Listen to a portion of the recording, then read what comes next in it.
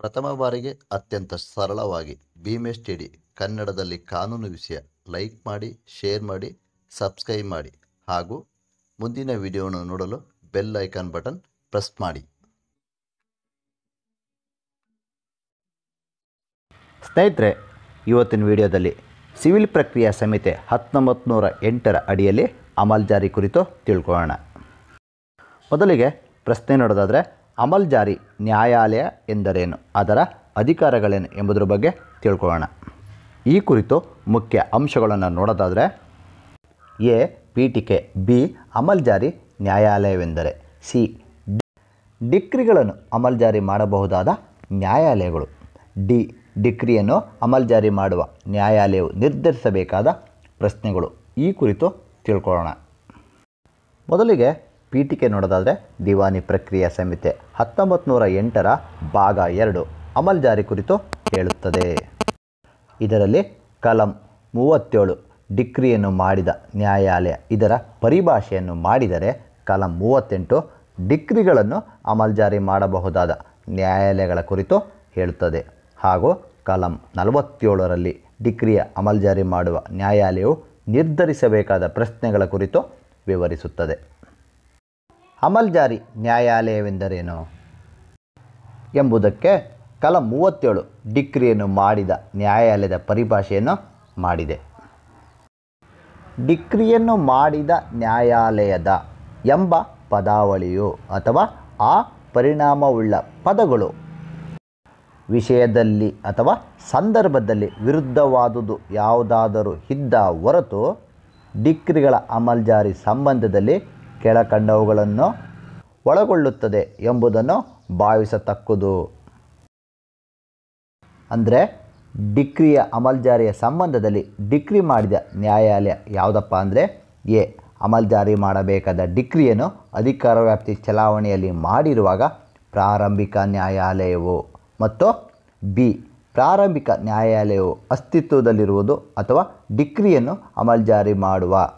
ಅದರ ಅಧಿಕಾರ ವ್ಯಾಪ್ತಿಯು ಕೊನೆಗೊಂಡಿರುವಲ್ಲಿ ಯಾವ ದಾವೆಯಲ್ಲಿ ಡಿಕ್ರಿಯನ್ನು ಮಾಡಲಾಗಿದೆಯೋ ಆ ದಾವೆಯನ್ನು ಡಿಕ್ರಿಯ ಅಮಲ್ಜಾರಿಗಾಗಿ ಅರ್ಜಿ ಹಾಕಿಕೊಳ್ಳುವ ಕಾಲದಲ್ಲಿ ಹೂಡಿದ್ದರೆ ಅಂಥ ದಾವೆಯನ್ನು ಅಧಿವಿಚಾರಣೆ ಮಾಡುವ ಅಧಿಕಾರ ವ್ಯಾಪ್ತಿಯನ್ನು ಹೊಂದಿರಬಹುದಾಗಿದ್ದ ನ್ಯಾಯಾಲಯ. ಇದು ಡಿಕ್ರಿ ಮಾಡಿದ ನ್ಯಾಯಾಲಯ ಆಗಿರುತ್ತದೆ. ಈ ಕಾಲಮು ಡಿಕ್ರಿಯನ್ನು ಮಾಡಿದ ನ್ಯಾಯಾಲಯ ಎಂದರೆ ಯಾವುದು ಎಂಬುದನ್ನು ವ್ಯಾಖ್ಯಾನಗೊಳಿಸುತ್ತದೆ. ಅಂದರೆ ಅಪೀಲು ನ್ಯಾಯಾಲಯ ಮಾಡಿದ ಡಿಕ್ರಿಗೆ ಸಂಬಂಧಿಸಿದಂತೆ ಪ್ರಾರಂಭಿಕ ನ್ಯಾಯಾಲಯ ಡಿಕ್ರಿಯನ್ನು ಮಾಡಿದ ನ್ಯಾಯಾಲಯ ಆಗುತ್ತದೆ.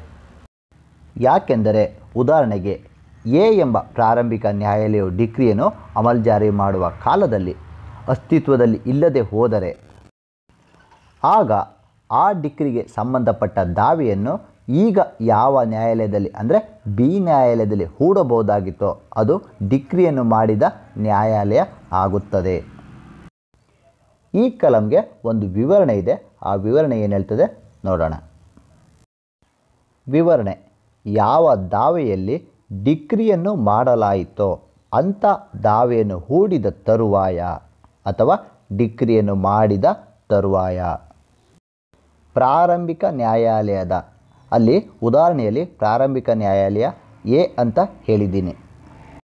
ಪ್ರಾರಂಭಿಕ ನ್ಯಾಯಾಲಯದ ಅಧಿಕಾರ ವ್ಯಾಪ್ತಿಯಿಂದ ಯಾವುದೇ ಪ್ರದೇಶವು ಇತರ ಯಾವುದೇ ನ್ಯಾಯಾಲಯದ ಅಧಿಕಾರ ವ್ಯಾಪ್ತಿಗೆ ವರ್ಗಾಯಿತವಾಗಿದೆ ಎಂಬ ಆಧಾರ ಮಾತ್ರದಿಂದ ಡಿಕ್ರಿಯನ್ನು ಅಮಲ್ಜಾರಿಗೊಳಿಸುವ ಅಧಿಕಾರ ವ್ಯಾಪ್ತಿಯನ್ನು ಆ ಪ್ರಾರಂಭಿಕ ನ್ಯಾಯಾಲಯವು ಹೊಂದಿರುವುದು ಕೊನೆಗೊಳ್ಳತಕ್ಕದಲ್ಲ ಆದರೆ ಅಂಥ ಪ್ರತಿಯೊಂದು ಸಂದರ್ಭದಲ್ಲಿಯೂ ಆ ಡಿಕ್ರಿಯನ್ನು ಅಮಲ್ಜಾರಿ ಮಾಡುವುದಕ್ಕೆ ಅರ್ಜಿಯನ್ನು ಹಾಕಿಕೊಳ್ಳುವ ಕಾಲದಲ್ಲಿ ಅದರಿಂದ ವಿಚಾರಣೆ ಮಾಡಲು ಅದು ಅಧಿಕಾರ ವ್ಯಾಪ್ತಿಯನ್ನು ಹೊಂದಿದ್ದರೆ ಅಂಥ ಇತರ ನ್ಯಾಯಾಲಯವು ಡಿಕ್ರಿಯ ಅಮಲ್ ಜಾರಿಗೆ ಅಧಿಕಾರ ವ್ಯಾಪ್ತಿಯನ್ನು ಹೊಂದಿರತಕ್ಕದು.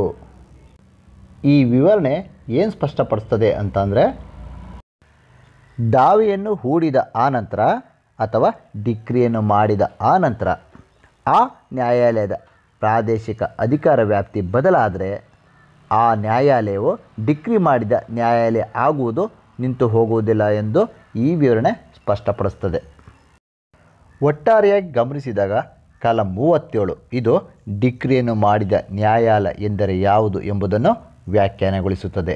ಅಂದರೆ ಅಪೀಲು ನ್ಯಾಯಾಲಯ ಮಾಡಿದ ಡಿಕ್ರಿಗೆ ಸಂಬಂಧಿಸಿದಂತೆ ಪ್ರಾರಂಭಿಕ ನ್ಯಾಯಾಲಯ ಡಿಕ್ರಿಯನ್ನು ಮಾಡಿದ ನ್ಯಾಯಾಲಯ ಆಗಿರುತ್ತದೆ. ಅಂದರೆ ಅದು ಡಿಕ್ರಿಯನ್ನು ಅಮಲ್ಜಾರಿ ಮಾಡಿದ ನ್ಯಾಯಾಲಯದ ಅರ್ಥವ್ಯಾಪ್ತಿಯಲ್ಲಿಯೇ ಬರುತ್ತದೆ.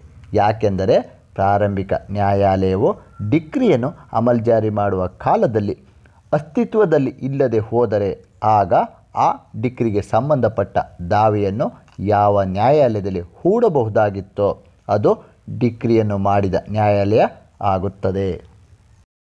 ಹಾಗಾದರೆ ಡಿಕ್ರಿಗಳನ್ನು ಅಮಲ್ಜಾರಿ ಮಾಡಬಹುದಾದ ನ್ಯಾಯಾಲಯಗಳು ಯಾವುವು? ಕಲಂ ಮೂವತ್ತೆಂಟರ ಪ್ರಕಾರ ಒಂದು ಡಿಕ್ರಿಯನ್ನು ಅದನ್ನು ಮಾಡಿದ ನ್ಯಾಯಾಲಯವಾಗಲಿ ಅಥವಾ ಅದನ್ನು ಅಮಲ್ಜಾರಿಗಾಗಿ ಕಳುಹಿಸಲಾದ ನ್ಯಾಯಾಲಯವಾಗಲಿ ಅಮಲ್ಜಾರಿ ಮಾಡಬಹುದು. ಇಲ್ಲಿ ಡಿಕ್ರಿಯನ್ನು ಅಮಲ್ಜಾರಿ ಮಾಡುವ ನ್ಯಾಯಾಲಯವು ನಿರ್ಧರಿಸಬೇಕಾದ ಪ್ರಶ್ನೆಗಳು ಯಾವುವು? ಅಂಥ ನ್ಯಾಯಾಲಯದ ಅಧಿಕಾರಗಳು ಯಾವುದು? ಕಲಂ ನಲವತ್ತೇಳರ ಪ್ರಕಾರ ಉಪಕಲಂ ಒಂದರ ಅಡಿಯಲ್ಲಿ ಯಾವ ದಾವೆಯಲ್ಲಿ ಡಿಕ್ರಿಯನ್ನು ಮಾಡಲಾಯಿತು. ಆ ದಾವೆಯ ಪಕ್ಷಕಾರರು ಅಥವಾ ಅವರ ಪ್ರತಿನಿಧಿಗಳ ನಡುವೆ ಉದ್ಭವಿಸುವ ಮತ್ತು ಡಿಕ್ರಿಯ ಅಮಲ್ಜಾರಿಗೆ ವಿಮ್- ವಿಮೋಚನೆಗೆ ಅಥವಾ ಸಮಾಧಾನಕ್ಕೆ ಸಂಬಂಧಿಸಿದ ಎಲ್ಲ ಪ್ರಶ್ನೆಗಳನ್ನು ಡಿಕ್ರಿಯನ್ನು ಅಮಲ್ಜಾರಿ ಮಾಡುವ ನ್ಯಾಯಾಲಯವು ನಿರ್ಧರಿಸತಕ್ಕದ್ದು. ಅಂದರೆ ಯಾವ ದಾವೆಯಲ್ಲಿನ ಡಿಕ್ರಿಯಲ್ಲಿ ಮಾಡಲಾಯಿತೋ ಅದೇ ದಾವೆಯಲ್ಲಿ ನ್ಯಾಯಾಲಯವು ನಿರ್ಧರಿಸಬೇಕು ವಿನಃ ಪ್ರತ್ಯೇಕ ದಾವೆಯ ಮೂಲಕವಲ್ಲ. ಅದೇ ರೀತಿ ಕಾಲಂ ನಲವತ್ತೇಳರ ಉಪಕಾಲಂ ಎರಡರ ಪ್ರಕಾರ ಯಾವನೇ ವ್ಯಕ್ತಿಯು ಪಕ್ಷಕಾರನ ಪ್ರತಿನಿಧಿಯಾಗಿರುವನೇ ಅಥವಾ ಇಲ್ಲವೇ ಎಂಬ ಬಗ್ಗೆ ಪ್ರಶ್ನೆ ಉದ್ಭವಿಸಿದರೆ ಅಂಥ ಪ್ರಶ್ನೆಯನ್ನು ಈ ಪ್ರಕರಣದ ಉದ್ದೇಶಗಳಿಗಾಗಿ ನ್ಯಾಯಾಲಯವು ನಿರ್ಧರಿಸತಕ್ಕದ್ದು. ಅಂದರೆ ಈ ಕಾಲಮಿನ ಪ್ರಕಾರ ಯಾವನೇ ಒಬ್ಬ ವ್ಯಕ್ತಿಯು ದಾವೆಯ ಪಕ್ಷಕಾರನು ಹೌದೋ ಅಥವಾ ಅಲ್ಲವೋ ಅನ್ನುವುದನ್ನು ಸಹ ಡಿಕ್ರಿ ಅಮಲ್ ಜಾರಿಗೊಳಿಸುವ ನ್ಯಾಯಾಲಯವೇ ಈ ಕಾಲಮಿನಂತೆ ನಿರ್ಧರಿಸಬೇಕಾಗುತ್ತದೆ. ಈ ಕಲಂಗೆ ಎರಡು ವಿವರಣೆ ಇದೆ. ಆ ಎರಡು ವಿವರಣೆ ಏನು ಹೇಳ್ತದೆ ನೋಡೋಣ. ವಿವರಣೆ ಒಂದು, ಈ ಪ್ರಕರಣದ ಉದ್ದೇಶಗಳಿಗಾಗಿ, ಅಂದರೆ ಕಲಂ ನಲವತ್ತೇಳರ ಉದ್ದೇಶಗಳಿಗಾಗಿ ಯಾವ ದಾವೆಯನ್ನು ವಜಾ ಮಾಡಲಾಗಿದೆಯೋ ಅವನು ಮತ್ತು ಯಾವ ಪ್ರತಿವಾದಿಯ ವಿರುದ್ಧವಾಗಿ ದಾವೆಯನ್ನು ವಜಾ ಮಾಡಲಾಗಿದೆಯೋ ಅವನು ದಾವೆಯ ಪಕ್ಷಕಾರರಾಗಿರುತ್ತಾರೆ. ವಿವರಣೆ ಒಂದು ಏನು ಹೇಳ್ತದಪ್ಪ ಅಂದರೆ ದಾವೆಯನ್ನು ವಜಾ ಮಾಡಿದ್ದರೆ ಅಥವಾ ವಾದಿಯು ಮತ್ತು ದಾವೆಯನ್ನು ಪ್ರತಿವಾದಿಯ ವಿರುದ್ಧ ವಜಾ ಮಾಡಿದ್ದರೂ ಅವನೂ ಸಹ ದಾವೆಯ ಪಕ್ಷಕಾರರು ಆಗಿರುತ್ತಾರೆ ಎಂದು ಸ್ಪಷ್ಟಪಡಿಸುತ್ತದೆ. ಯಾಕೆಂದರೆ ಈ ಮುಂಚೆ ಈ ಬಗ್ಗೆ ಭಿನ್ನಾಭಿಪ್ರಾಯವಿತ್ತು. ಆ ಭಿನ್ನಾಭಿಪ್ರಾಯವನ್ನು ಈ ವಿವರಣೆ ತೆಗೆದುಹಾಕುತ್ತದೆ. ವಿವರಣೆ ಎರಡು. ಇದರಲ್ಲಿ ಎರಡು ಅಂಶ ಇದೆ. ಎ ಮತ್ತು ಬಿ. ವಿವರಣೆ ಎರಡರ ಎನಲ್ಲಿ ಈ ಪ್ರಕರಣದ ಉದ್ದೇಶಗಳಿಗಾಗಿ ಡಿಕ್ರಿಯ ಅಮಲ್ಜಾರಿಯ ಕ್ರಮದಲ್ಲಿ ಮಾಡಿದ ಮಾರಾಟದಲ್ಲಿನ ಸ್ವತ್ತಿನ ಖರೀದಿದಾರನನ್ನು ಡಿಕ್ರಿ ಮಾಡಲಾಗಿರುವ ದಾವೆಯ ಪಕ್ಷಕಾರನೆಂದು ಭಾವಿಸತಕ್ಕದ್ದು.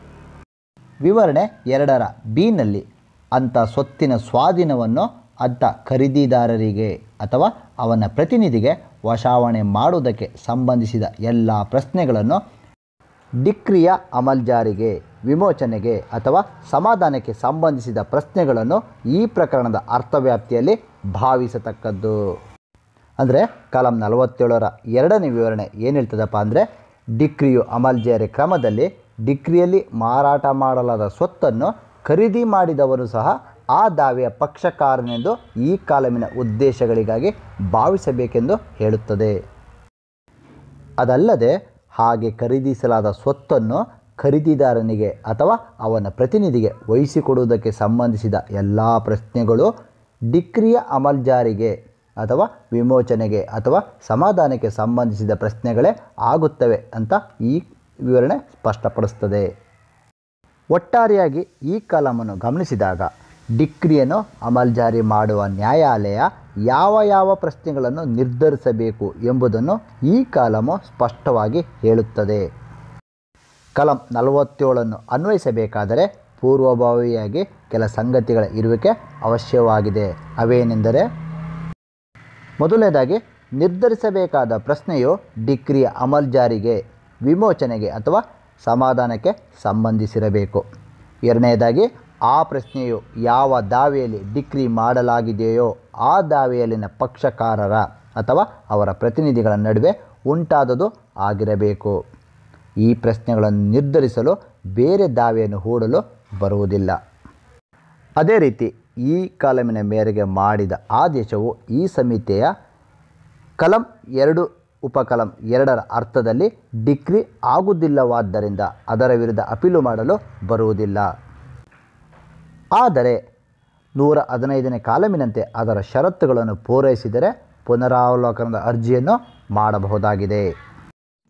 ಪ್ರಥಮ ಬಾರಿಗೆ ಅತ್ಯಂತ ಸರಳವಾಗಿ ಭೀಮೇಶ್ ಟಿಡಿ ಕನ್ನಡದಲ್ಲಿ ಕಾನೂನು ವಿಷಯ ಲೈಕ್ ಮಾಡಿ, ಶೇರ್ ಮಾಡಿ, ಸಬ್ಸ್ಕ್ರೈಬ್ ಮಾಡಿ ಹಾಗೂ ಮುಂದಿನ ವಿಡಿಯೋವನ್ನು ನೋಡಲು ಬೆಲ್ ಐಕಾನ್ ಬಟನ್ ಪ್ರೆಸ್ ಮಾಡಿ.